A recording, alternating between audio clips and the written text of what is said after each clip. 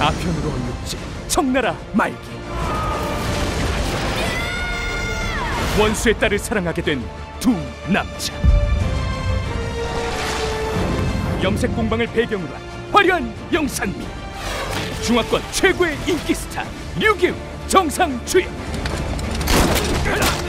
41억 뷰를 기록한 대작. CNTV에서 만난다. 채용 정남이